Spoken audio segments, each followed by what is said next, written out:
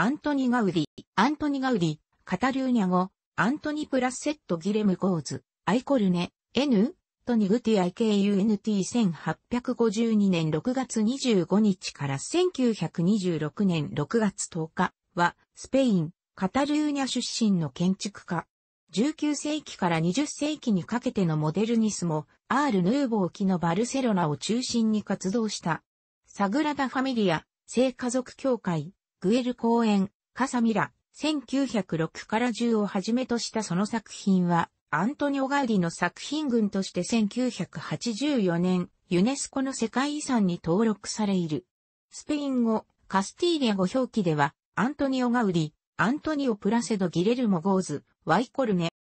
アントニ・ガウディは、1852年6月25日午前9時半、カタルーニャ地方のタラゴナ県に、父、フランセスク、ガウディ・セラと、母アントニア・クルネット・イ・ベルトランの5人目の子として生まれた。一家の次女マリアと長男のフランセスクはそれぞれ幼くして亡くなったため、三男アントニは長女のローザ、次男のフランセスクとの三人指定の弟として成長した。ガウディの出生地とされる場所には、レウスとその近郊の村リュードムスの2カ所がある。レウス説は、洗礼を受けたセーペラ教会の大長や学校に提出された書類に基づくものである。その一方で、ガウディは、リュードムスのマステラ・カルデレラで生まれ、洗礼をレウスで行ったとも伝えられている。ガウディ家の先祖は17世紀初頭に、フランス、オーベルニュー地方からリュードムスへやってきた。リュードムス出身の父フランセスクは、銅板を加工して鍋や釜を作る銅細工師であり、銅細工師の家の意味を持つマスデラ・カルデレラは彼の仕事場であった。ガウディは父方、母方ともに銅細工職人という家系に生まれたことが空間を把握するという自らの建築家としての素地となったと考えていた。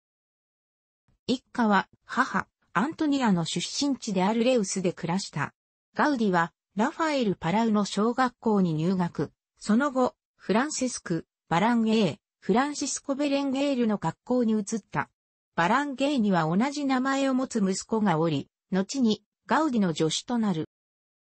ガウディは6歳になるまでに、リウマチにかかり、痛みのひどい時にはロバに乗って移動することもあった。病弱だったため、他の子供たちと同じように遊ぶことは難しかったが、この頃にクリスマスの飾りのために紙細工で風変わりな家を作っていたという逸話がある。また、授業で鳥の翼は飛ぶためにあると説明した教師に対し、鳥は翼を走るために使っていると反論したという話は、幼いガウディが自らの周囲にあるものの造形をよく観察していたことを示すエピソードとして知られる。後年、ガウディは自然を常に開かれて、努めて、読むのに適切な偉大な書き物であると語っている。1863年、ガウディは貧しい家庭の指定のために設立されたピアリスト修道会の学校に入学する。この学校でガウディはエドワルドとダイグエー、エドワルド・とダイグエルとユゼプ・リベラ・イサンス、ホセ・リベラ・イサンスという友人を得る。戸田の階層によれば、三人が発行した雑誌、エル・アルレキン、アルレッキーノのイデ・ガウディは挿絵を端し、学校演劇の際には、大道具や小道具を制作した。当時のガウディの絵には、レウス出身でイタリアで活躍した画家、マリアノ・フォルトゥーニの影響が指摘されている。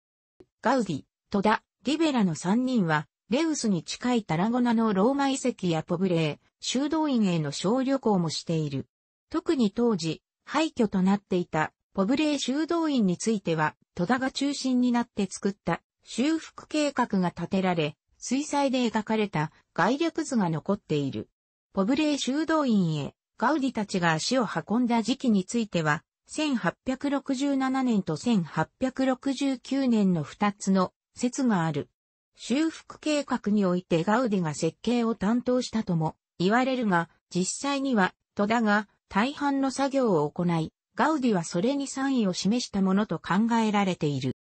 1873年から1877年の間、ガウディはバルセロナで建築を学んだ。学校では歴史や経済、美学、哲学などにも関心を示したほか、ビオレル・デュークの建築辞典を友人から借りて熱心に読んだとも伝えられる。また、学業と並行していくつかの建築設計事務所で働き、バルセロナのシウタデーラ公園の装飾やモンセラートの修道院の装飾にも関わった。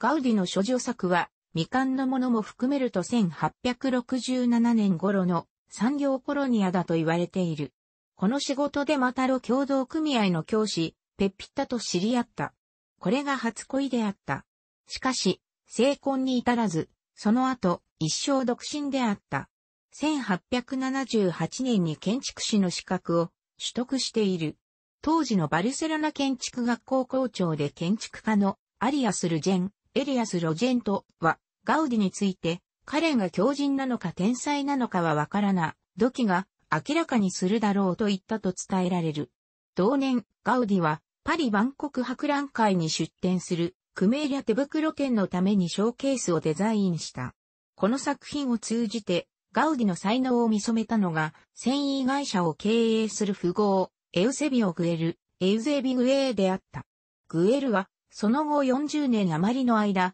パトロンとしてガウディを支援し、グエル邸、コロニアグエル教会地下聖堂、グエル公園などの設計を依頼した。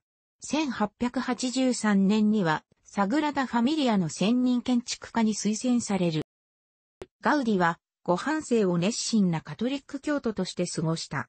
1914年以降、彼は宗教関連以外の依頼を断り、サグラダ・ファミリアの建設に全勢力を注いだ。しかし、親族や友人の相次ぐ死によるガウディの仕事の停滞と、バルセロナ市が財政危機に見舞われたことによって、サグラダ・ファミリアの建設は進まず、同時に進めていたコロニア・グエル教会道の建設工事は未完のまま中止されてしまう。さらに1918年、パトロンのエウゼビ・グエーが死去した。この頃の不幸の連続がガウディを変えたと言われている。彼は、取材を受けたり写真を撮られたりするのを嫌うようになり、サグラダ・ファミリアの作業に集中するようになった。1926年6月7日、ガウディはミサに向かう途中、この日メガネを家に忘れた。彼は段差につまずき転倒。そこに通った路面電車に引かれた。晩年身なりに気を使わなかったため、不老者と間違われて手当が遅れ、事故の3日後に73歳で池を引き取った。遺体はサグラダ・ファミリアに埋葬されている。女性恐怖症であったらしく、修正独身であった。彼の建築は曲線と細部の装飾を多用した生物的な建築を得意とし、その独創的なデザインは多くの建築家や芸術家に影響を与えた。その設計手法は独自の構造力学的合理性と物語性に満ちた装飾の二つの側面より成立する。装飾は形式的なものにとどまらず、植物、動物、怪物、人間などをリアルに表現した。美しい形は構造的に安定している。構造は自然から学ばなければならないと、ガウディは自然の中に最高の形があると信じていた。その背景には幼い頃、バルセロナ郊外の村で過ごし、道端の草花や小さな生き物たちと触れ合った体験から来ている。ガウディの自然への賛美が最も顕著に現れた作品がコロニア・グエル教会地下聖堂のガウディ設計部分である。傾斜した柱や壁、荒削りの石、さらに光と影のめくるめく色彩が作り出す洞窟の洋空間になっている。この柱と壁の傾斜を設計するのに、数字や方程式を一切使わず、ガウディは10年の歳月をかけて実験をした。その実験装置が逆さ釣り模型で紐と重りだけとなっている。網状の糸に重りを数個取り付け、その網の描く形態を上下反転したものが垂直荷重に対する自然で丈夫な構造形態だとガウディは考えた。建設中に建物が崩れるのではないかと疑う職人たちに対して自ら足場を取り除き構造の安全を証明した。これは力学的に全くの正解であった。まさしく力学的に安定であるため、今日広く使われているカテナリー曲線そのものである。ガウディは設計段階で模型を重要視し、設計図をあまり描かなかった。設計図は役所に届ける必要最小限のものを描いたのみである。彼の模型や設計図といった資料はスペイン内戦で多くが消失したが、消失を免れた数少ない資料を手がかりに、現在のサグラダ・ファミリアの工事は進められている。楽しくご覧になりましたら、購読と良いです。クリックしてください。